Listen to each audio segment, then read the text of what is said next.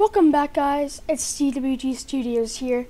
Today we are working on my Planet Coaster Second Park Desert Escape. We're building a new Mack Rides multi-launch coaster. Originally I was going to put it over there, but that's where the RMC Raptor model will go.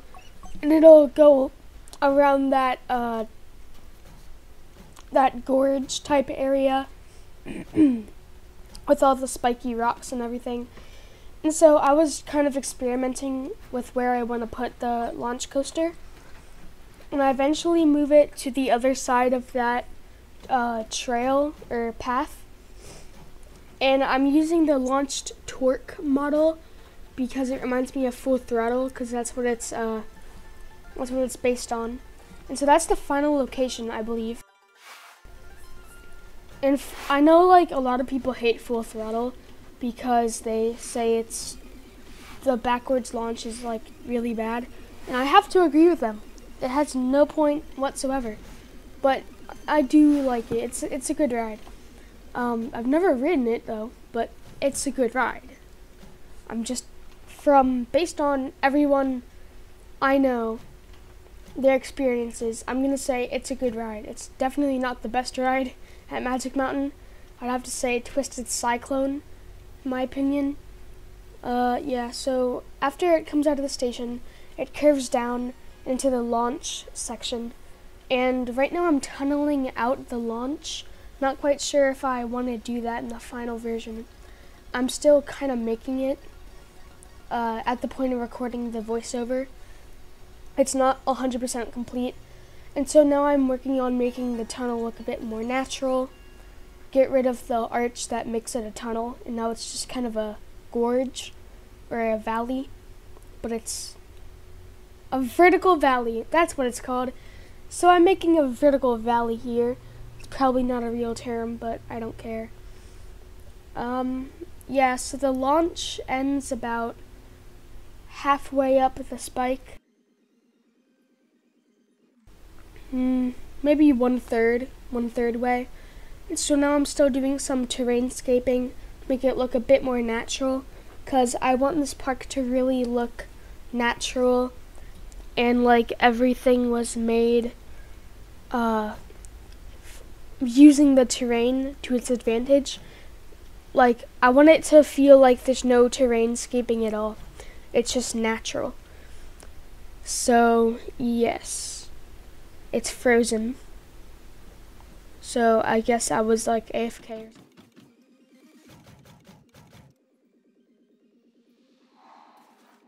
So my original idea for this was to have an arch right where the uh, right where the launch track ends. And then I'm kind of playing around with elements at the top.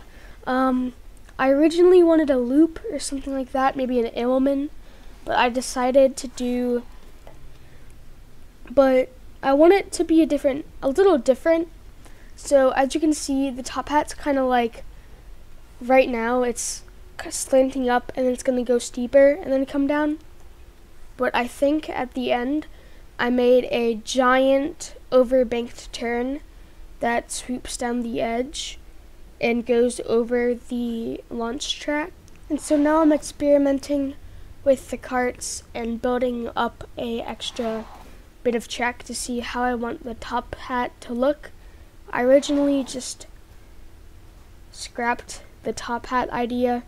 It's no longer a thing. Now we have a giant overbanked turn like what I said earlier. And so I wanted to do a little bit of a top hat curving overbanked turn weird thing. And so I wanted it to go that direction and then curve down. But then I decided to scrap it and go the other side. There's kind of a natural shadow in the crease on the other side of the launch track, and that is where um, that is where I wanted the overbank to go originally. And so now I was playing around with some elements, a few Immelmanns working in there, not really good at all. I tried an Immelmann, did not work well at all. Um, I think my best bet would have been like a Cobra roll or a Batwing, but I guess I didn't do that.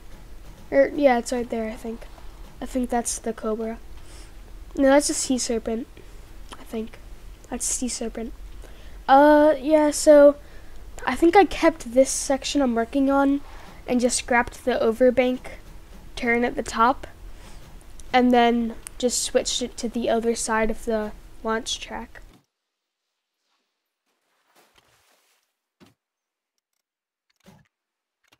So if this was a real ride, I'd definitely call it Mack Ride's most um, scary, I guess, roller coaster. Um, most intense. Definitely most intense Mack Rides ever would make. Normally they make family coasters. Um, but you get a lot of G's on the final product of this. And that was one of my main goals to give the riders a lot of G forces and to really make them fly out of their seat, which is not good, but it's a game, so yeah. I believe the finished uh, name of the coaster is like Outlaw. What is it? Outlaw Run? No. That's the name of a kitty coaster, I think. Yeah. So I decided that this layout was kind of bland. And so, yeah, I removed all that. And then I made the bank, as you can see, on the other side. And I think this turned out a lot better because it looked a bit more natural going with the curve of the mountain. Yeah, I think that looks a lot better looks more natural, smooth. Then you go over the launch track, and I think I wanted to have like an S curve or an S bend around here, but I thought that would might be too painful. But I never checked the G's on that, I don't think, because I'm smart. Yeah, so I'm trying to figure out how to transition it. I have a bit of a, uh, what is it called? It's a outback curve, I think, cutback curve. It's when you're, um, say you're going left, you're tilted right. So you really get a lot of G's on a turn like that. So I thought I wanted to have a really big loop. So yeah, I put a really big loop in. Then immediately following the loop, I have a giant cutback or banana roll. I think it was a banana roll. Let's see. Checking the stats. Make sure it's not too intense.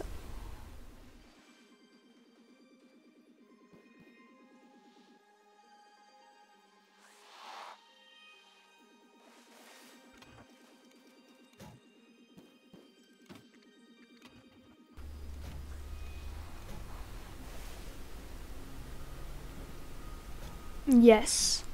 I think I put in a banana roll. I like banana rolls. They're pretty cool. Yep, banana roll. No, that's a cutback. Yeah, it was a cutback. And now we, I think we do, I forgot what's called, but you loop up and then turn as you go up. Yeah, I forgot the name of those. I feel pretty dumb. It really looks good when you're looking in from the cutback. And then we have another uh, S-bend right there, or outward cutback turn, whatever you want to call it. I think it's coming to, I think it's going to be on the West Coast Racers. I'm not quite sure. I feel like it was on the trailer for West Coast Racers. And then we go into the, um, the brakes. And so I did a few more modifications. I think I got rid of the brakes right there, and I put in after the, uh, I don't know, it's not an Immelmann. Let me search that up. Immelmann. It's like the opposite of an Immelmann. Yeah, it's pretty much the opposite of an Immelmann. Like on Gatekeeper, it's pretty much the first drop, but backwards, if that makes sense. So after that, I think I put a corkscrew which is probably not very, you know, comfortable. But I think it really it fits the dynamic because right after the, um, I think it might be a barrel roll. It's not a barrel roll. It might be a heartline roll. I forgot. We'll see sometime. But after the roll, you um, it's really smooth going into the breaks after that roll. So later this video, we're gonna decorate the, you know, the station of the coaster, and it's gonna have kind of a old temple kind of feel. Whoa, my computer froze. But yeah, so um, at least we didn't lose the recording. But yeah, so this is basically the um, this is the plaza, and so it's like a yeah, it's it's not an island. It is not an island. Ah, uh, I thought it was an island. Um, yeah, it's connected. But basically, it's like an old temple, maybe. I don't know what it is. Don't question me on it. It's just a temple. I really like the look of it though. I like the sandstone in the game.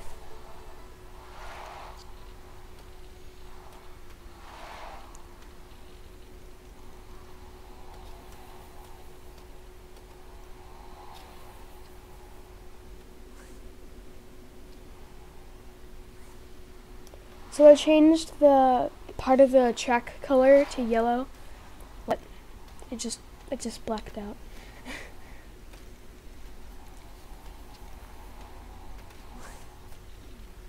I feel like I should change the color of the cars. They're blue and red, which is not good for the theme of Outlaws. Um, yeah, I think I'm to change that after this recording. Let me know what you guys want the next episode of Planet Coaster to be. Um, I know I have kind of a schedule, but I'm kind of flexible. You, you guys just might see part of a episode before that episode releases, I guess. So maybe I'm working on a tropical zone. You might see a new roller coaster. So, yeah. It's not part of the tropical zone because you requested the park creation in different order. But, yeah. I'm probably just gonna do it like that. And now we're making the roof, which was so hard to make. It was so annoying. It, I think it took like a toll on me. It was the most annoying thing I had to do in that recording process.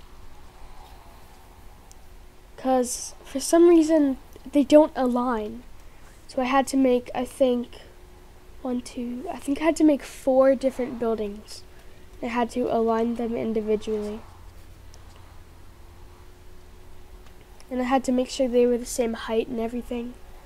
It did it just not look good from head's head's view. Bird's eye view, not at all. It's not equal at all. It's just bad. But you can't tell. It's not like anyone's gonna notice. Now we're doing some decor. I want it to feel like a swamp, so I think I used some, yeah, seaweed on the building. Um, I used a few swamp trees, the big Brazil nut trees. I love those, they're really good decor.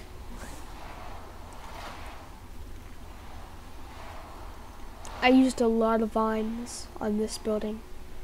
Vines, I think, are one of my favorite uh, scenery pieces because it's a lot of detail for not a lot of effort, I guess, because you can just have it auto, like, uh, auto align.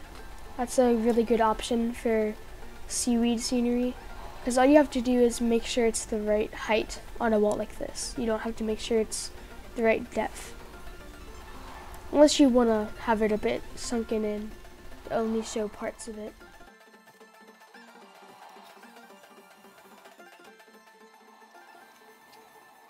I don't know why I put ivy. It's too English to me, you know? It doesn't remind me of a swamp. It reminds me of England. Because English ivy is from the English. is from the UK and that area because it's you know it's called that. Um, yeah, planting some trees. There's some more rocks used. The terrain is pretty much flat. Adding some more trees around the launch area. And I think I might have um, encased the launch in a tunnel. I have to check. I'm not 100% sure if I did it but I'm pretty sure I encased it and then put lights uh, inside of the tunnel. So I think that turned out really well in the end. More trees and rocks.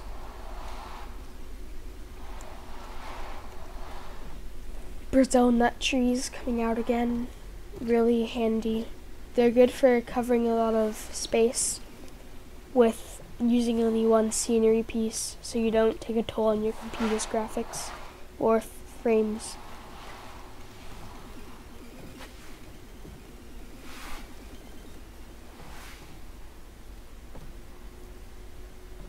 One of the best things you can do to make your terrain not look plain if you don't want to put any scenery on it is to use different textures. So with the scenario editor, you can choose different um, brushes for the landscape and for the terrain.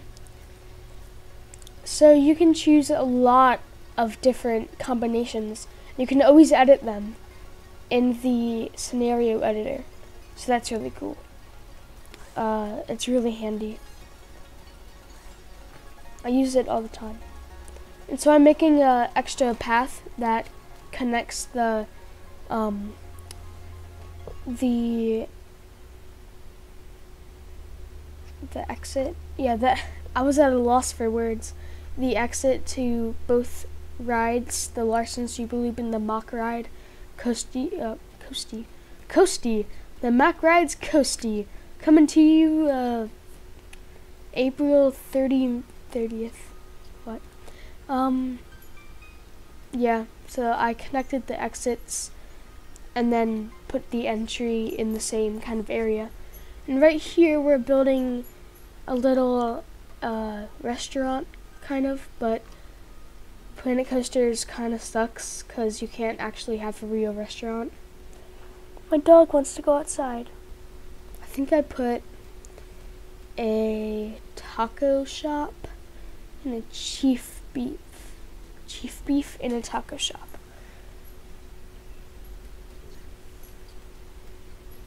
I really like that look. If you just want to add a bit more detail to any walls, just add like supports or rimmings to the top or just a few like simple windows. It doesn't have to be too fancy.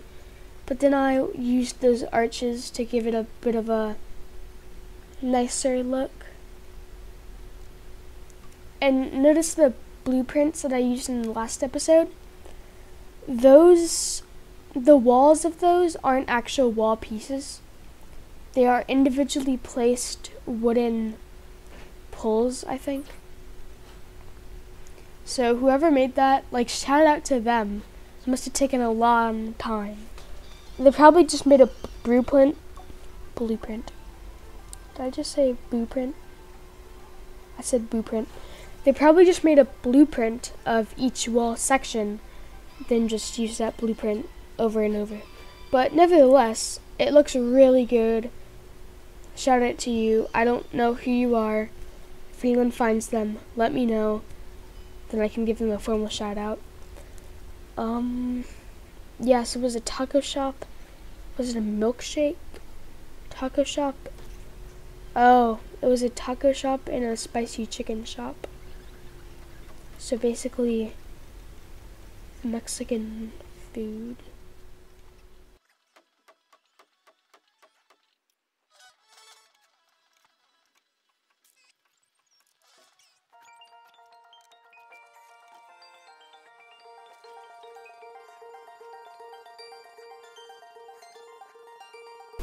I AFK again?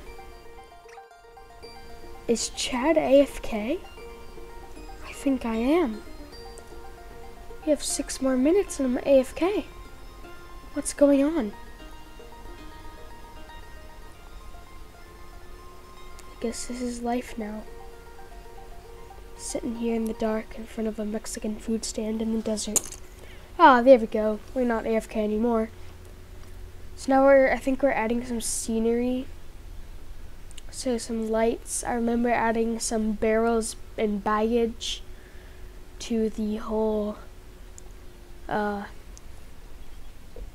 front uh, entrance plaza. I don't know. Uh, yeah, just in front of the building, I added that inside to frame both of the shops. I think it looks pretty good. If I could, I would definitely change the colors. Oh, look, I can. I just didn't know or didn't want to.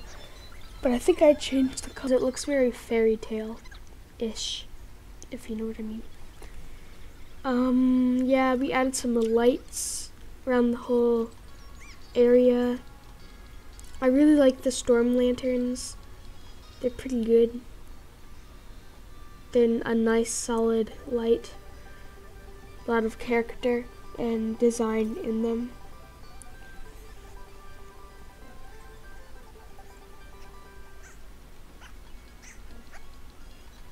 Security guard's getting some chicken, isn't he? I tried using some of those. I don't know if I kept them. I think it might have been like too much work. I think to have them all line. I might have just done it on the front though. I don't like that. Please tell me I got rid of that. If I didn't, I will I promise I'll do it in the next episode. I really hope I got rid of that. So, the uh, roller coaster tycoon people they helped make this game but it was frontier who actually you know made the game good and so they're releasing a new planet or planet coaster. They're releasing a new roller coaster tycoon. And it's trash. It's on the epic games store. I watched it or i watched the trailer while i was watching um, or as I was updating the trash video game that is now Fortnite, um, it's really bad. They're everyone knows Planet Coaster is better than every single roller coaster tycoon game, yet they're still trying to re- reboot the old title of Roller Coaster Tycoon. It's really annoying. They just should just give up and invest their time in Planet Coaster, the game that people like. And I know everyone's gonna say, oh, people like No Limits too, too. Um, yeah, but that doesn't have scenery, you know? You can make a theme park. No Limits 2 and that other one. Those are for making roller coasters, not theme parks. But I get where you're going. My computer crashed again. That is so annoying. I forgot what we were talking about. Ah, now we're adding the pots and pans and luggage and stuff. I hope we get rid of that over top thing above the lights. It's so disgusting.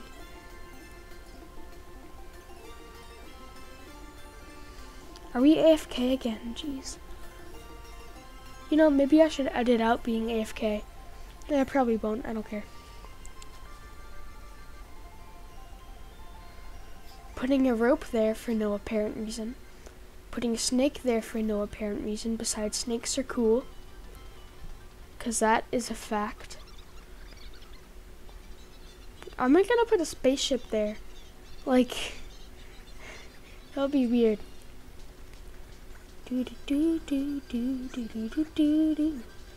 Ooh, should I put zebra there?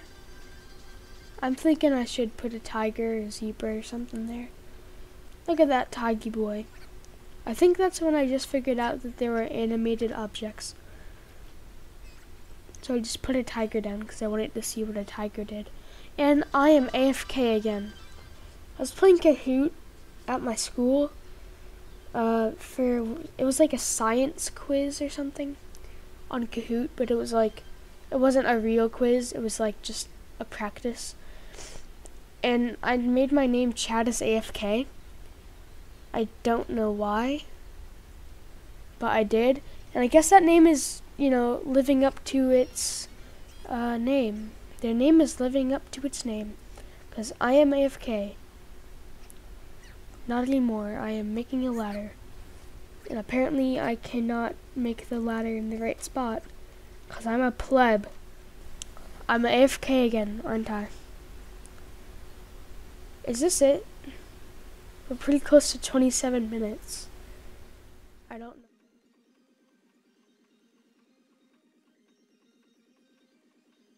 Yep, this is it. I'm getting a phone call and I'm about to end the recording.